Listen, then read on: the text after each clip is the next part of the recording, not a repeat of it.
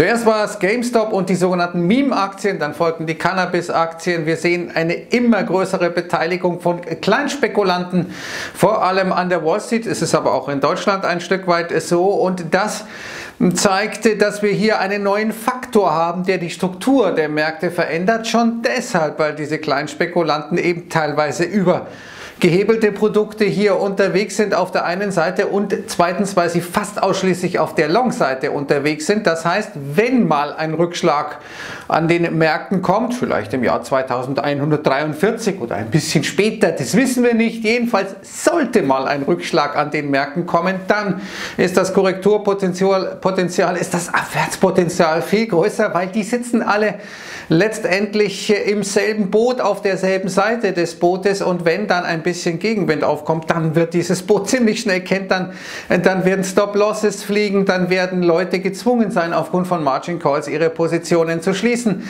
Das wird dann ein Massenphänomen. Das heißt, die nächste Korrektur, so meine Prognose, wird, wenn sie denn kommt, sehr, sehr heftig werden, denn diese Kleinspekulanten, die saugen sich geradezu voll mit den Long-Positionen und das wird dann ein entscheidender Faktor. Schauen wir uns zunächst mal an, wie diese Kleinspekulanten hier an Gewicht gewonnen haben. Heute ja US-Feiertag, Presidential Day.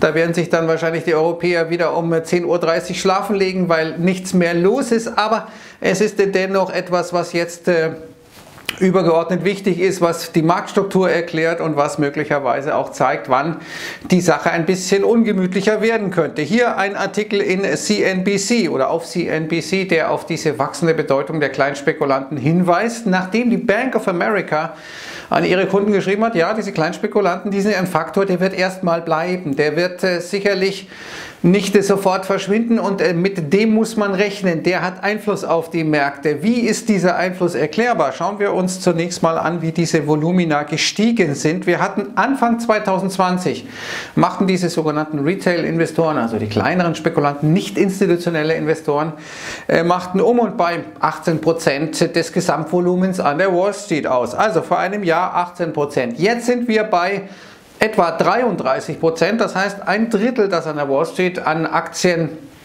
Volumina bewegt wird, das wird durch diese Retail-Trader durch diese kleinen Spekulanten bewegt. Wir haben also eine Verdopplung innerhalb eines Jahres, eine immense Zahl, wie ich finde. Früher hat man gesagt, ja, diese kleinen Spekulanten, die machen überhaupt keinen Unterschied, ob die jetzt dort oder dort sind, das ist äh, praktisch egal. Aber dadurch, dass diese kleinen Spekulanten eben, wie gesagt, mit gehebelten äh, Produkten oft arbeiten, dass sie mit Optionen arbeiten, dass sie fast immer auf der Long-Seite sind, also Calls zum Beispiel bei Optionen kaufen, sind dann die Market Maker gezwungen, darauf zu reagieren, eben indem sie zum Beispiel das Underlying kaufen, äh, um sich abzusichern. Sichtbar war das äh, bei der Tesla-Aktie zum Beispiel. Also wir sehen hier dieser Einfluss der Kleinspekulanten, der nimmt immer mehr zu. Und hier sehen wir mal das gesamte Volumen äh, US Total Equity and Index Call Option Volume. Also wir sehen, das ist äh, praktisch vorwiegend über Calls im ähm, Optionsbereich erklärbar, diese starke Zunahme. Das schießt geradezu durch die Decke, kann man sagen. Und wir sehen auch Nasdaq OTC Total Volume, also OTC Over the Counter werden oft so kleine Aktien gehandelt, so Penny Stocks. Und hier sehen wir, wie dieses Ding nach oben schießt. Hat sich mehr als versiebenfacht seit dem Jahr 2020. Also immense Zahlen, da sind immense Zockereien am Start.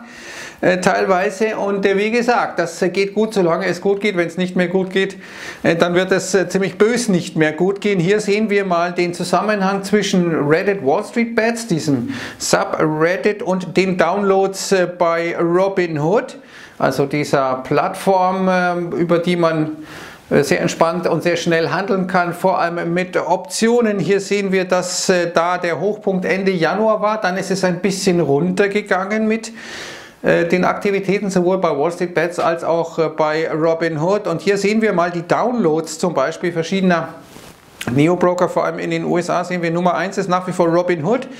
Die erreichten im Januar knapp 4 Millionen Downloads, nur in, im Januar. Jetzt sind wir im äh, Februar bereits bei 1,8 Millionen. Also hier wird äh, diese Grafik oder bei Robinhood wird dieser Chart wieder nach oben gehen, weil eben weitere Leute noch in der zweiten Hälfte des Februars dann äh, die Software downloaden werden. Webull kommt an zweiter Stelle, Fidelity, TD Ameritrade und dann E-Trade Also das ist äh, durchaus äh, ein absoluter Trend. Wir sehen das hier in Deutschland mit Trade Republic oder anderen Neo-Brokern.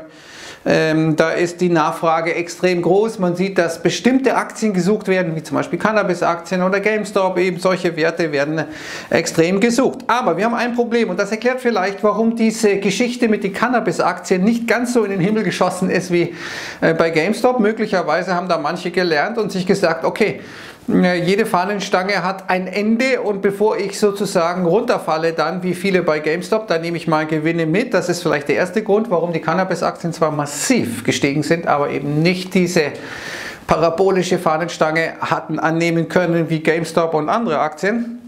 Und eins, ein entscheidender Punkt hier könnte auch sein, dass die äh, Savings Rate, also die Sparquote der Amerikaner zurückgeht. Das heißt, die Verlusttoleranz wird ein bisschen kleiner. Wenn ich es jetzt dicke habe und sage, okay, wenn ich da 1000, 2000, 3000 Dollar mal verliere, äh, dann ist nicht so schlimm. Das ist jetzt eben nicht mehr so, denn man wartet auf den Scheck. Der soll ja Ende Februar soll beschlossen werden. Hier mit diesem neuen Stimulus, äh, Anfang März müsste das dann ausgezahlt werden. Aber da ist eben noch ein kleines Aber, denn es ist die Frage, wie hoch wird diese ganze Geschichte ausfallen mit diesen Stimulus-Checks. Erste Frage, zweite Frage, wer ist überhaupt berechtigt, die zu bekommen? Und dritte Frage, wird man sich einigen können, denn die Demokraten und Republikaner, die sind sich ein bisschen in die Haare gekommen jetzt über dieses Trump-Impeachment-Verfahren. Und wir sehen, dass die Amerikaner das dürfte insgesamt auch in Deutschland gelten, pessimistischer werden, was die Einkommenserwartungen für die nächsten ein bis zwei Jahre ähm, betrifft. Hier sehen wir diese Umfrage der Universität von Michigan.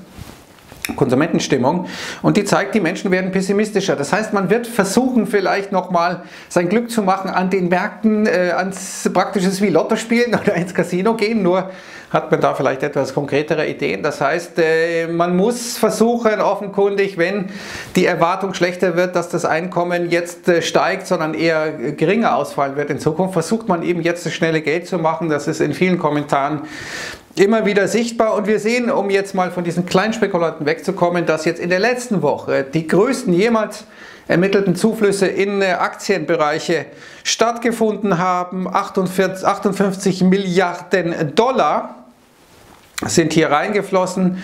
Ähm, da wurden dann 11 Milliarden aus äh, Geldmarktfonds abgezogen und 800 Millionen äh, immerhin auch von Gold. Also wir sehen, jetzt gehen alle all in. Wir wollen Equities haben, wir wollen Aktien haben, wir wollen reich werden, schnell, schnell reich werden. Ob das gelingt, wir werden sehen. Bei asiatischen Aktien scheint das zunächst mal zu gelingen. Wir sehen hier den Nikkei erstmals seit 1990 über der 30.000 Punkte Marke hier in einem Chart von Capital.com, meine Damen und Herren. Das haben Sie schon lange nicht mehr gehört. Oder jetzt sehen wir jedenfalls eine Rallye. Ich glaube 1,8% ist der japanische Index äh, heute Nacht gestiegen. Die Chinesen haben ja noch äh, Feiertage, Neujahrsfest, da wird es am Freitag erstmal wieder ganz langsam losgehen, aber ansonsten ist da nicht viel los. Wir sehen das allerdings, wenn wir uns mal den Nikkei anschauen, 1990 hatte ich gesagt, war der Nikkei das letzte Mal bei 30.000 Punkten. Wo stand der Dow Jones 1990? Bei 2.500 Punkten. Das muss man sich mal vorstellen. Das heißt, jetzt sind wir ja entspannt äh, über 30.000 Punkte beim äh, Dow Jones und der Nikkei ist jetzt da, wo er 1990 wieder war. Das zeigt so ein bisschen auch die Relation. Und die Rallye ist gefüttert eben durch diese Inflations-Reflationstrade-Erwartungen, also die Erwartung, Pandemie wird besiegt, Nachfrage steigt, Inflation steigt, äh, dementsprechend äh, muss man jetzt Aktien kaufen und muss Anleihen verkaufen. Wir sehen hier die Renditen für US-Staatsanleihen steigen, das ist die 10-jährige US-Staatsanleihe, jetzt erstmals über 1,2 Prozent, aha. Das ist interessant und wir sehen unten, diese blaue Grafik zeigt, wie stark die Abweichung ist vom Normalverhalten, also dass dieser Anstieg doch relativ schnell passiert ist jetzt, den wir hier sehen. Das äh, wird ein Faktor werden, je höher die Renditen steigen, umso mehr werden Anleihen dann potenziell sozusagen eine Konkurrenz wieder hm, für Aktien. Und dieser Optimismus, der wird dann durch Zahlen scheinbar unterfüttert. Wir sehen hier Singapur, äh, BIP äh, heute rausgekommen, besser als erwartet mit 3,8% statt 2,4 erwartet. Auch Japan besser als erwartet hier äh, die Zahlen. Also dieser Reflationstrade, der bekommt jetzt durch äh, harte Fakten offenkundig ein bisschen Nahrung, so denkt man sich. Und die Frage ist, jetzt kommt eben diese Inflation. Bisher ist sie nicht gekommen. Warum? Obwohl wir zwar eine massive Ausweitung der Geldmenge haben, aber die Geldumlaufgeschwindigkeit ist nicht wirklich gestiegen, ist mal ein ganz kleines bisschen nach oben, aber nicht so wirklich viel. Wenn die Geldumlaufgeschwindigkeit steigt, dann wird die Inflation beginnen. Äh, dann wird es eben lustig und kritisch. Und lustig und kritisch wird es natürlich inflationär immer bei den äh, Kryptowährungen. Wir haben wieder heute einen genialischen Tweet von Elon Musk über Dogecoin, äh, wo er sagt, ja, too much concentration viel zu viel Konzentration, das sei ein Problem. Wenn die äh, Leute, die viel davon haben, was verkaufen, findet er das gut. Das könnte man vielleicht auch bei Bitcoin sagen. Da gibt es ja auch ein paar Wale. Wir sehen jedenfalls Dogecoin äh, dann nach unten im asiatischen Handel, auch äh, Bitcoin und Konsorten nach unten, nachdem Bitcoin am Wochenende fast schon die 50.000er ähm, Marke erreicht hat. Wenn wir uns jetzt mal die Marktkapitalisierung verschiedener Assets anschauen, sehen wir Gold nach wie vor Nummer 1 mit über 11 Billionen.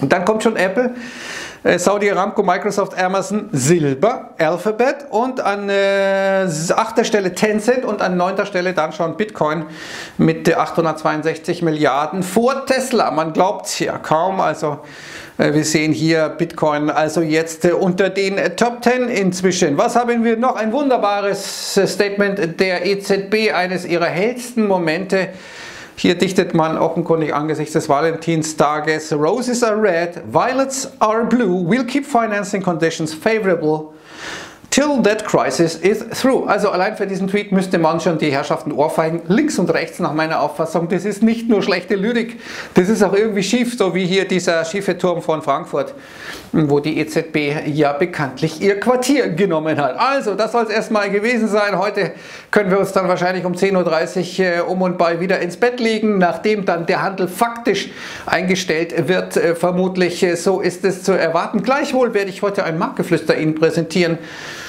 Mal schauen, was mir dazu dann einfällt. Ich wünsche jetzt erstmal einen guten Start in die Woche und sage Servus und Ciao.